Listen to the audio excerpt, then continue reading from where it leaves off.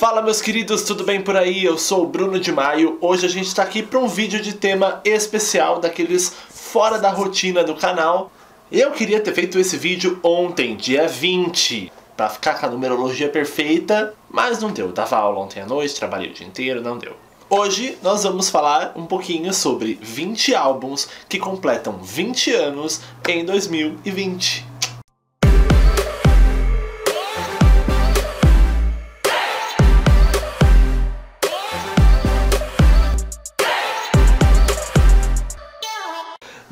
Vários deles aqui e três já no cenário, que são os três primeiros que eu vou falar. Antes da gente começar, vou pedir pra você deixar o seu like aí. Se não for inscrito, já se inscreve. Aqui é um lugar pra gente falar de música pop, sem ódio gratuito, com muito amor e tesão pela música.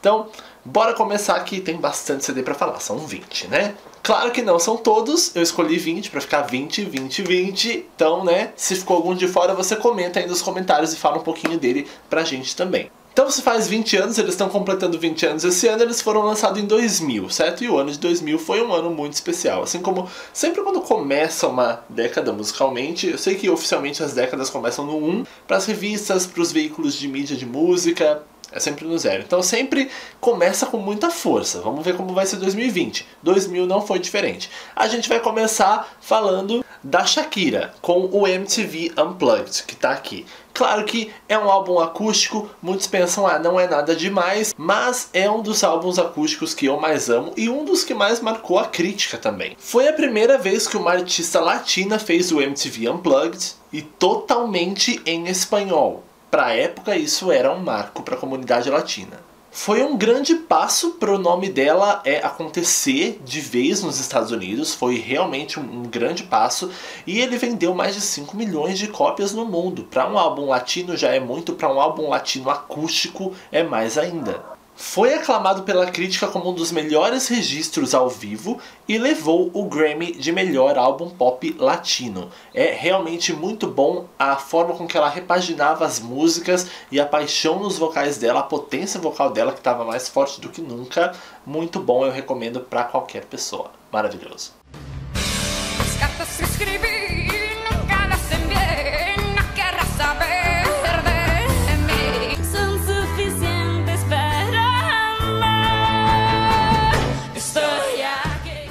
Agora vamos falar do Venga Boys. Venga Boys com The Platinum Album é um álbum que eu coloquei aqui na lista mais por algo despretensioso para talvez quem conhece, né, ter uma sensação nostálgica aí, e quem não conhece, de repente se divertir um pouco ao som deles. Era um som mais é, farofa mesmo, eurodance, super gostoso, super balada mesmo do que rolava na época, mas esse álbum trouxe, o álbum anterior tinha bastante hit também, mas esse álbum trouxe um hit considerado, acredito que mundial, que foi Xalalalala.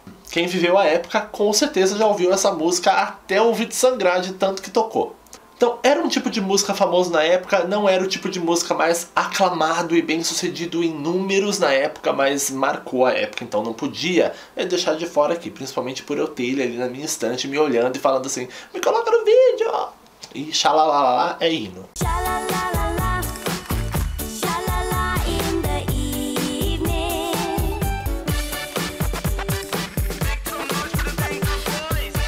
E agora nós vamos falar de coisas maiores, né? Nosso querido que está em destaque aqui, NSYNC com No Strings Attached. Foi o segundo álbum da boy band NSYNC, que é considerada uma das maiores e mais bem-sucedidas boy bands da história. Foi um sucesso estrondoso. Eles inovaram na sonoridade na época, misturando pop com música eletrônica, R&B, algumas músicas agitadas mais agressivas do que o pop normal da época. Eles venderam 2 milhões e 400 mil cópias só na primeira semana, só nos Estados Unidos. O que foi um recorde que durou muitos anos, que só a Adele veio bater recentemente com o 25, quando ninguém mais imaginava, devido à queda brusca de vendas de uns anos pra cá, ninguém mais imaginava que esse recorde podia ser batido. Eles seguraram por vários anos, 15 anos acho. E o álbum rendeu três hits globais, realmente nível global, que foram Bye Bye Bye, It's Gonna Be Me e This I Promise You.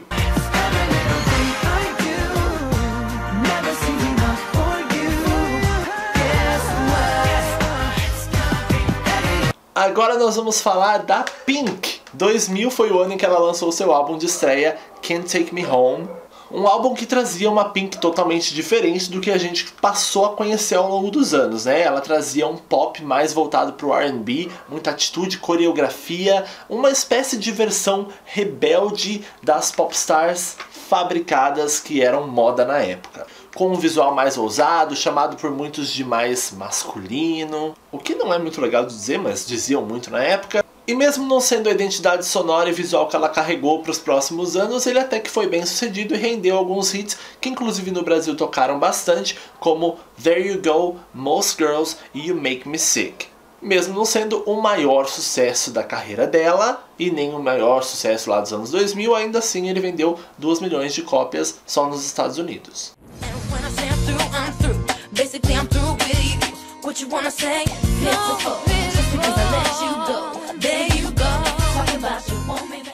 Próximo álbum que a gente vai falar é um álbum que eu não tenho físico aqui. Eu já tive um dia, emprestei para alguém que não devolveu vários álbuns antigos. Eu tenho essa questão. Na época se emprestava muito cedo.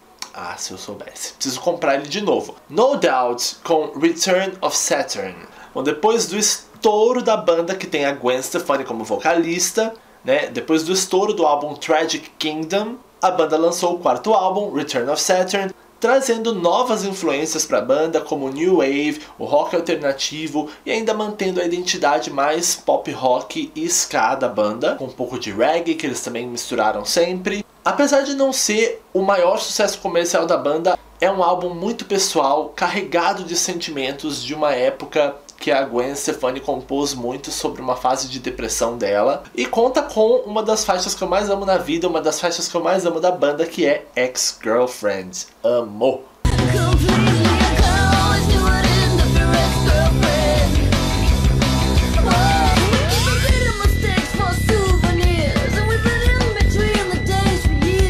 Próximo álbum que a gente vai falar aqui, completa 20 aninhos esse ano, é o The Hit, da Toni Braxton. Sem dúvida, eu acredito que esse é o meu álbum favorito da Toni Braxton. E esse é um dos álbuns que me faz lembrar de uma sonoridade muito específica dos anos 2000, que era o pop R&B produzido pelo Dark Child, bem específico, né? Mas ele, ele, trouxe uma sonoridade muito específica daquela época. E esse álbum mostra isso principalmente no single principal desse álbum, que foi He Wasn't Man Enough. Um hit também, por aqui também tocou bastante. E nesse álbum a Toni Braxton conseguiu renovar sua imagem, se adaptar ao cenário atual, se manter ali com hits, ainda muito aclamada, muito premiada. Então tivemos He Was a Man Enough, a balada Spanish Guitar, que se tornou mais um clássico para a carreira dela. É um álbum sexy, maduro, dançante e romântico. Como eu disse, é provavelmente o meu álbum favorito dela e traz, além das faixas que eu já citei, He Was a Man Enough e Spanish Guitar, músicas incríveis como Gimme Some, Just Be a Man About It, I'm Still Breathing e a minha favorita, Maybe, que é muito sexy. Eu super recomendo esse álbum para qualquer fã de R&B e vocais incríveis. Tony Braxton, The Heat.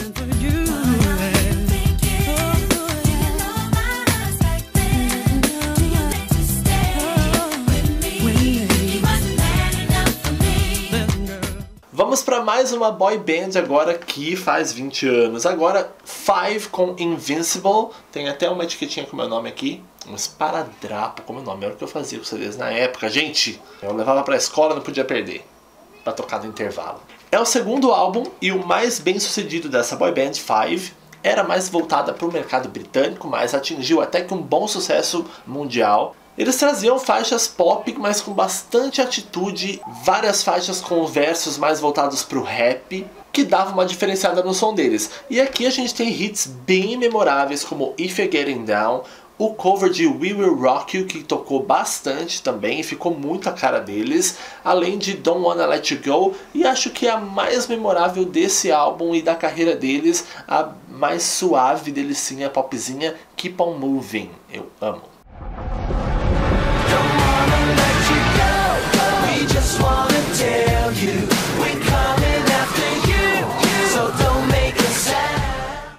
Agora vamos de clássico, né, meus amores? Clássico, ela que está estampando até a minha camiseta hoje. Britney Spears com Oops, I Did It Again. Eu nem preciso falar, né, gente? Acho que eu nem precisava falar desse álbum.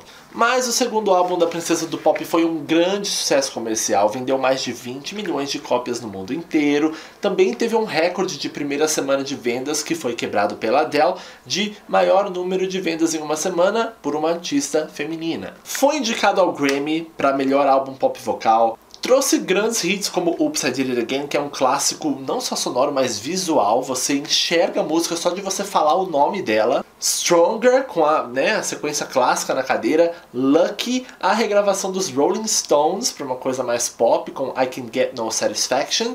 E a baladinha Don't Let Me Be The Last To Know, escrita na época por Shania Twain.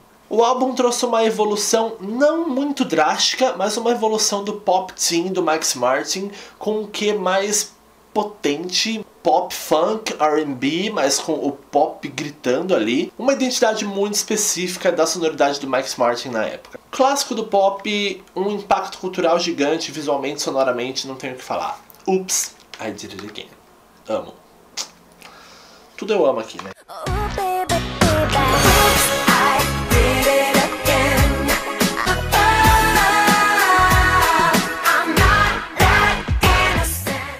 Vamos para mais um álbum que eu não tenho físico aqui. Se, alguém quiser me dar esse álbum, eu aceito. Se eu achar, um dia eu vou comprar. Vou, vou até fuçar no Mercado Livre, que voltou a vontade de comprar esse álbum.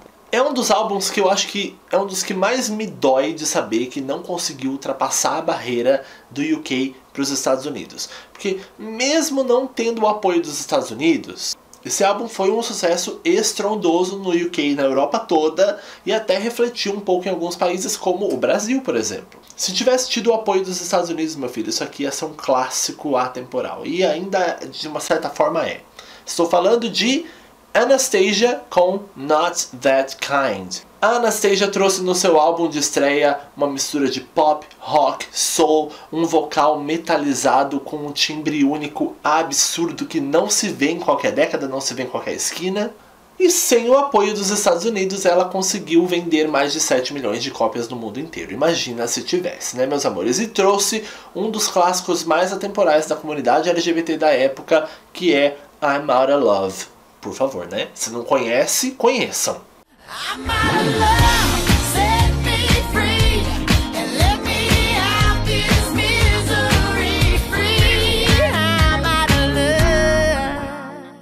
Vamos falar de mais um álbum de uma artista muito amada pelos fãs de música pop, Cristina Aguilera com Me Reflejo. Se hoje em dia já não é comum artistas americanos lançarem álbuns totalmente em espanhol, imagina na época, né?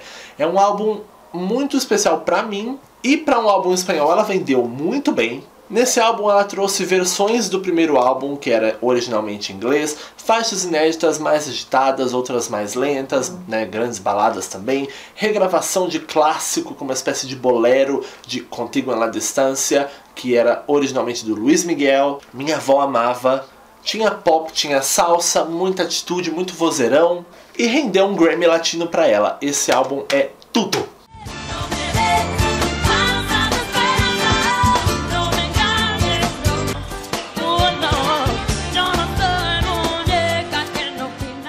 Gente, eu pesquisei, eu fiz a lista e, e, ainda gravando esse vídeo ainda me surpreendo com o tanto de álbum foda que foi lançado em 2000. Vamos falar agora da rainha do pop, Madonna com Music. E a rainha mais uma vez mostrando por que é a rainha renovando sua imagem, sua sonoridade no seu oitavo álbum de inéditas.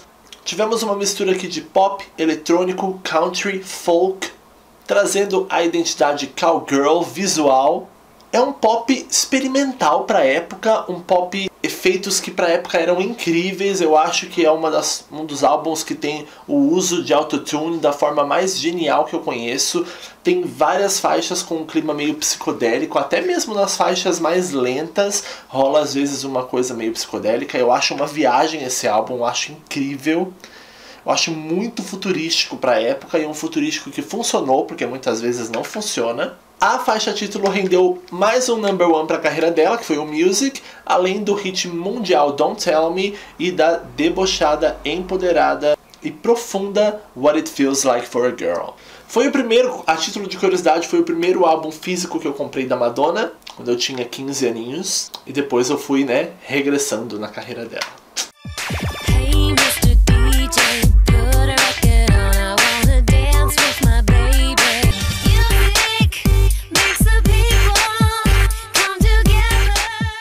Próximo álbum, outro álbum que eu não tenho e me envergonho disso, mas não é muito fácil achar, é o álbum Light Years da Kylie Minogue, que eu chamo particularmente de a deusa do pop. É o sétimo álbum de inéditas da carreira dela e que foi uma espécie de um comeback para as raízes dela de música pop, dance, eletrônica e o que fez muito bem para a carreira dela, inclusive. Toda a carreira dela eu acho que é bem injustiçada em termos de, né, mundialmente falando, com exceção da era Fever, que teve um alcance global maior. Mas dentro dos padrões Kylie, esse álbum rendeu dois clássicos para a carreira dela, que são Spinning Around e On a Night Like This. Tem outros hits, algumas músicas que ela até insiste em né, manter em turnês até hoje, como Kids, com Robbie Williams. Spinning Around, até a título de curiosidade, também tinha dedo da Paula Abdul na composição. E a faixa e o hit On a Night Like This acabou dando o nome da turnê que futuramente iria divulgar esse álbum. Eu diria que para quem sabe apreciar clássicos sem pensar em números, esse álbum é um clássico.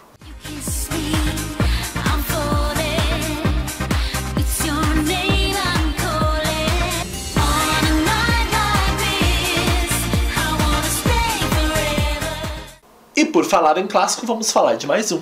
Nelly Furtado com Roa Nelly. Esse álbum, gente, é... dá até um arrepio falar que esse álbum é um clássico. Porque é um álbum tão diferente, tão experimental, tão fora da caixinha do que é comum se ouvir, tanto pra época quanto até pra hoje, que me surpreende positivamente ele ter alcançado o que alcançou. É um tipo de artista que surge uma vez na década e olhe lá. Eu nunca ouvi nada parecido com esse álbum, nem antes dele, nem depois dele. Ela trouxe um vocal único e uma mistura de é, pop, hip hop, RB, bossa nova, música eletrônica, tudo numa coisa só e funcionando, tá? Tinha coisa latina, música latina também, é, influência de música portuguesa que tem, tá na raiz da, da família dela. É, praticamente ela criou um mundinho único e exclusivamente dela excêntrico até demais para alguns. Talvez quem conheça só as músicas mais comerciais não tenha noção das coisas que existem dentro desse álbum, que são super diferentes, então eu recomendo mergulhar nele. E felizmente essas músicas comerciais existiram porque acabaram ganhando o coração das pessoas, ainda que, mesmo que comerciais diferentes para a época, como Turn Off the Lights, Shit on the Radio e a clássica das clássicas, I'm Like a Bird que inclusive rendeu o Grammy de melhor performance pop vocal feminina para ela. Então, então, sabe, dá um orgulho falar que um álbum tão diferente como esse né, vendeu mais de 6 milhões de cópias na época. Muito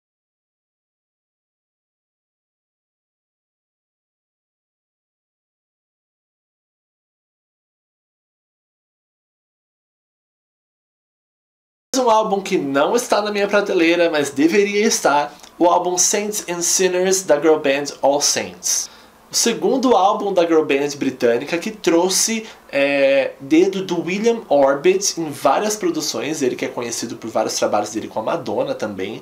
E essa coisa futurística psicodélica que ele costuma trazer nos trabalhos que ele faz também estava muito presente aqui no trabalho das All Saints. É um álbum que misturava pop, trip hop, música eletrônica, uma coisa meio dream pop, que eu acho que o primeiro single do álbum representa muito toda essa mistura que eu falei, que é Pure Shores, que inclusive também é uma das minhas favoritas da carreira delas até hoje. Foi um hit, foi uma das poucas músicas da carreira delas a ter um, um impulsionamento global maior, porque foi trilha sonora de um grande filme da época chamado A Praia, com o Leonardo DiCaprio. Recomendo demais para quem curte uma coisa futurística, dream pop. Comecem por Pure Shores. Se vocês gostarem, vão para Black Coffee e se vocês gostarem, vão pro álbum inteiro.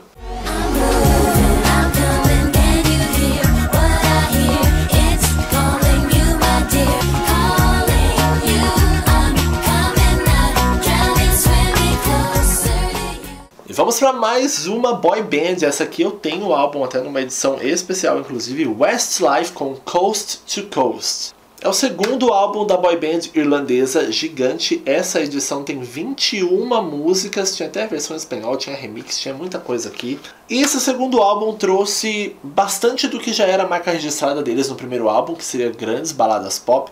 Eu inclusive acho que algumas baladas do Ed Sheeran, por exemplo, Perfect, remetem demais às baladas que eles faziam. E eles são do mesmo país, talvez role mesmo essa influência. E ainda foi muito bem sucedido comercialmente, vendendo mais de 2 milhões só pela Europa, rendeu 5 singles, que é bastante, adoro, era completa assim, e dentre esses singles, uma versão de Against All Odds com a Mariah Carey, que foi um grande sucesso. Aqui no Brasil tocou bastante essa versão linda. É um álbum lindo, tem bastante música bacana. Hoje eu acho ele um pouco longo demais para muita balada, mas eu ouvia pra caramba na época. I wonder how, I wonder why, I wonder where they are. So I say a little prayer, and hope my dreams will take me Tô intercalando aqui álbuns que estão na minha estante, álbuns que não estão na minha estante. Vamos falar agora da Thalia com o álbum Arrasando. Bom, é o sexto álbum da Thalia, que é um dos nomes latinos mais marcantes da história. E esse álbum deu uma repaginada na carreira dela, trazendo influências mais de música dance, música eletrônica, sem deixar, claro, toda a raiz da música latina, o tempero latino que tá, transborda na voz dela, né? E esse álbum empurrou ela com mais força para um sucesso internacional. Vendeu mais de 2 milhões no mundo, o que é bastante para um álbum espanhol. E ela misturava muito bem né, a música eletrônica com a raiz latina, grandes baladas como Entre el Mar e Una Estrella, que é muito famosa também, a faixa título que particularmente é uma das minhas favoritas e tal, talvez eu, eu arrisco dizer que é a minha música favorita da Thalia, num geral, que anima qualquer pista, é música para dar close, é música para dançar, é tudo de bom. Arrasando é arrasa, literalmente.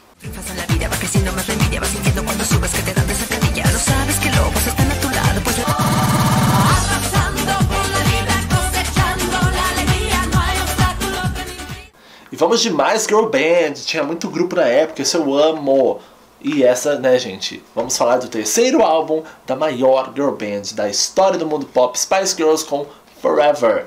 Esse é o último álbum de inéditas dela e o único álbum lançado como um quarteto, né, sem a presença da Jerry Halliwell. Nesse álbum, elas apostaram numa sonoridade mais R&B, literalmente do que eu falei lá do álbum da Toni Braxton, aquela sonoridade específica do Dark Child ele produziu praticamente o álbum todo e essa sonoridade é muito presente aqui. É um R&B mais maduro, mais sofisticado. Até o lead single foi uma coisa mais sensual para o que elas estavam acostumadas a fazer como single, né? Também tinha algumas baladas, algumas influências de disco bem leve que sempre foram marca registrada desde o começo da carreira Apesar do álbum, claro, não ter repetido o fenômeno que foi os dois primeiros álbuns, ainda assim ele vendeu mais de 6 milhões de cópias, o que é bastante se você for pensar que o álbum só teve um single duplo, que foi Holler e Let Love Lead the Way, com né, o foco maior em cima de Holler e ainda assim foi number one é, no UK, tanto a música quanto o álbum,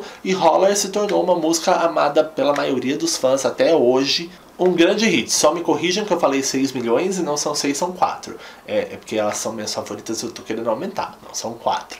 Um R&B chique, sofisticado, que combinou até com elas. Mas meu sonho é elas gravarem um CD novo, gente. Meu sonho. É um sonho da minha vida, eu queria falar pra vocês. Acho que é o meu maior sonho Alice, que provavelmente eu vou morrer com ele. Enfim, né? Vamos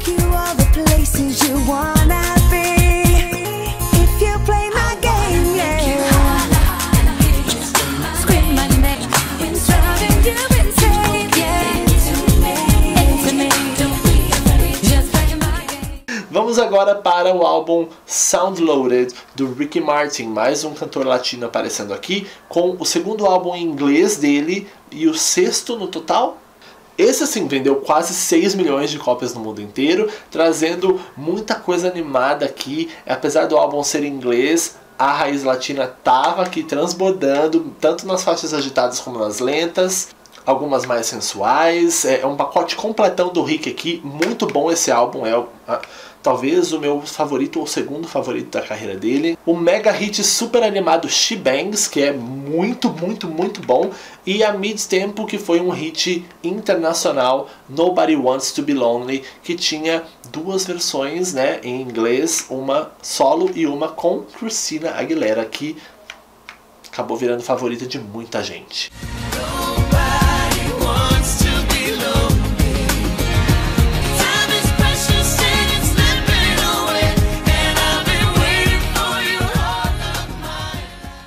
Falta só mais dois, vamos pro álbum número 19, é um álbum que eu também não tenho aqui, esse álbum eu também tinha e ele de alguma forma sumiu, que é o álbum All That You Can't Leave Behind da banda U2. Eu diria que nesse álbum a banda voltou com todas as forças depois de, um, de uma recepção bem morna do álbum anterior, que se chamava Pop, e nesse álbum eles inovaram a sonoridade misturando um rock alternativo com música eletrônica e que rendeu muito bem para eles. Eles foram direto pro mainstream, foram do morno pro mainstream, tocando em tudo quanto é lugar. Esse álbum rendeu hits como Stuck, In a Moment You Can't Get Out Of, uh, Elevation, que foi inclusive tema oficial do filme Tomb Raider, e a mais clássica de todas, que foi um hit que marcou a época, Beautiful Day.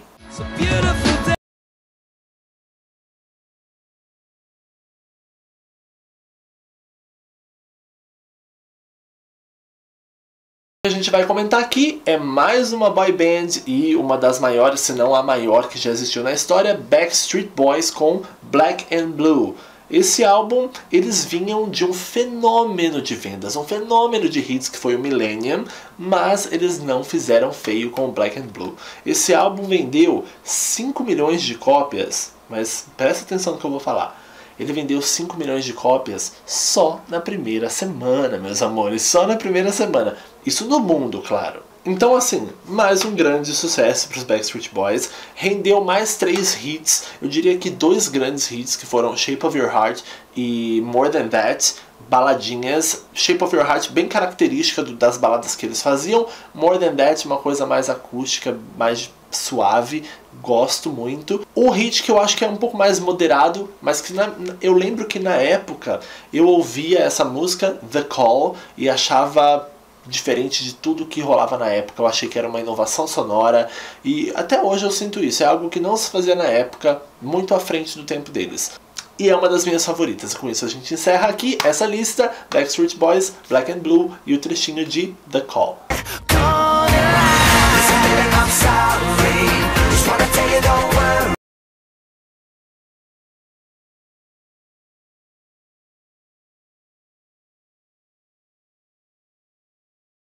Parei de 20 álbuns que completam 20 anos em 2020. Claro que tem vários outros álbuns que podem ter marcado a vida de vocês, vocês gostariam de ter visto aqui, então comentem aí embaixo e a gente vai conversando sobre eles também, tá? Eu mesmo ia colocar outros, eu fui intercalando, aí eu não sabia o que colocar, e aí eu falei, põe um álbum nacional junto ou não, aí eu decidi fazer só internacional, aí eu tinha colocado o álbum do Shaggy na lista, Hot Shot, porque eu tinha certeza que eu tinha, quando eu fui ver eu não tinha, mas eu tinha. Eu tenho certeza que eu tinha. Alguma coisa aconteceu com ele, foi abduzido. Então tem muita coisa. O que eu lembro de nacional que foi lançado na época Beat Beleza, da Ivete Sangalo, Assim Que Se Faz, da Luciana Mello, uh, Nadando com os Tubarões, de Charlie Brown Jr. foram alguns álbuns que marcaram para mim esse ano. Mas se tiver mais, falem aí para mim nos comentários. então é isso, se você curtiu esse vídeo, não esquece de dar o seu joinha, curte, comenta, compartilha e se você não é inscrito ainda, se inscreve. Fica aqui comigo pra gente falar de música pop, ficar por dentro junto, falar de coisa antiga, falar de coisa nova. E é isso. Dá uma fuçada nas nossas redes sociais aí para você conhecer mais sobre o canal, os quadros do canal, as playlists do canal. E é isso. Obrigado por você ter assistido comigo aqui até o finzinho. Um beijo e até o próximo vídeo. Fui.